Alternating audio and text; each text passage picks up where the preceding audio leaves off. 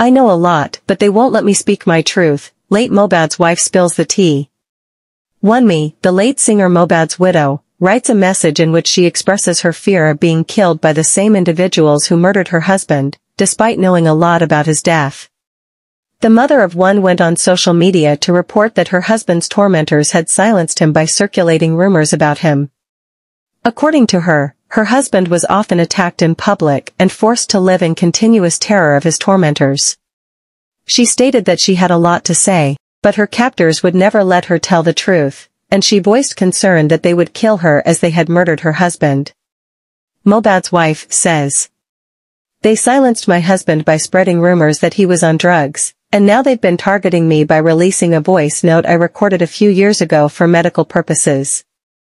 They're attacking our only child by libeling him as illegitimate. Duh. My husband was messed up mentally, psychologically, and physically. If he had continued speaking publicly about his challenges, perhaps he would still be alive today. I wish he had summoned the courage to come public as many times as he could, but he didn't want anyone to see his vulnerability. He was a gentle and calm soul.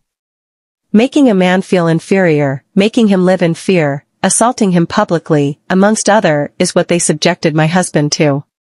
The last time they attacked him, I begged him to speak out, but he felt powerless against the influence of the industry gods. Mohbad would have sought medical treatment after his injury if he didn't live in constant fear. He avoids hospitals because he believed the medical system could be compromised, and doctors bribed to harm him. I know a lot, but they won't allow me to speak my truth. Your favorite fake activists and bloggers can continue defaming me, but I pray God rewards them for their actions. If they eventually kill me me too, like they did Mohbad, just know I said it. It may not be direct. So many things have happened since I lost my husband, yet I can't speak. I am helpless, but I know God will see me through this. I want the whole world to know that I tried to speak up, just as my husband always wanted to, but they bullied him to silence as they are currently doing to me. The DNA issue is one that has brought tears to my eyes and pain to my heart, and my legal team has advised me not to dignify anyone with a response. However, I feel compelled to address the misconceptions arising from my silence.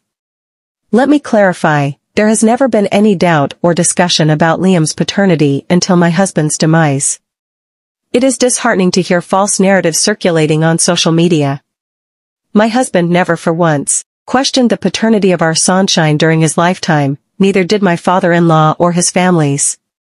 The first time I heard about his doubt was on social media. He never spoke to me personally about the DNA till this very day. My father-in-law's legal team reached out to my legal team, who then gave him the terms and conditions in which the DNA will be conducted. Since November, I have been waiting for a court order to proceed with the DNA testing. However, I am now being asked to take Liam to my father-in-law so the test can be done. Which of you will take your son to such a man in this circumstance? If you were in my shoes, will you feel safe to take your son to a man who has come online to defame your character and lie of you? You've all seen the curses and threats made on my son's enemy yet some of you are telling me to expose my son to further potential harm? The relentless social media bullying and threats have made it impossible for me to even take Liam out in public safely.